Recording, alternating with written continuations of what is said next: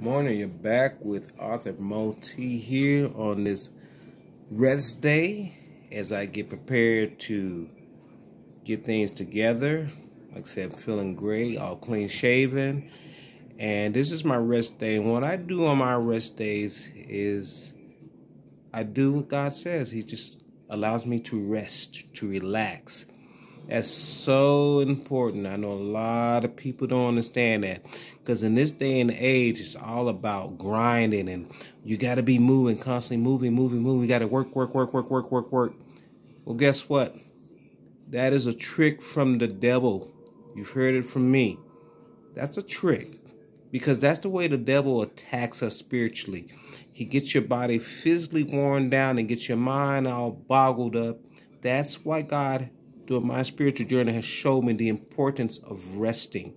And like I said, if you look at it, God rested on the seventh day. Jesus rested when he did his teaching. There are periods where he rested. So resting is very crucial. And the reason and the point of resting is to strengthen, restore, to re, as they say, you know, regroup refresh. That's why it's important to be resting. So you heard it from Moti. Just thought I'd throw something in there. I'm not trying to minister today. Like I said, this is a rest day and uh, got a project I'm working on later today. So I'm excited about that. I cannot wait to share it. And once we get that going, I'll be happy to fill you in. All right. God bless.